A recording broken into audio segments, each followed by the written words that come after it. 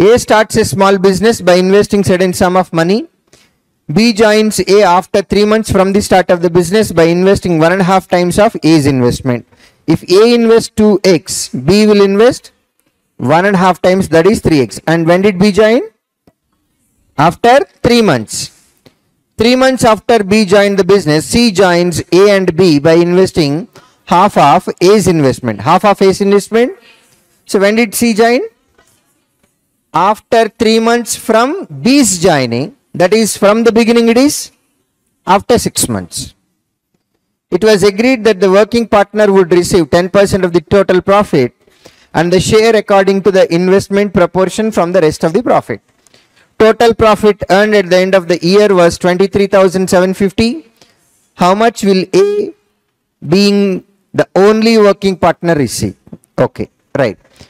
A is there for 12 months and he is there for 9 months and 6 months. 3, 4 times, 3 times, 2 times. So it is 8, 9, 2. Correct?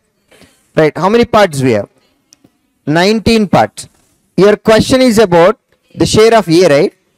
A is working partner and he gets first 10% of the total profit. What is 10% of this? 2375. Clear? And remaining is 9 times of 2375 only. 90%. This is 10%, correct? And this is 90%. So out of this 90 percentage, A gets 8 parts out of total 19 parts. And this is the amount received by A. As he is working, he is getting 10%. Hope it is clear. Yes? Hmm. And then cancellation 19 once 47 we have 2 times again 5 times. Answer must end with 75. How many options are there? Multiple are there. 125 8 times that is 1000 only.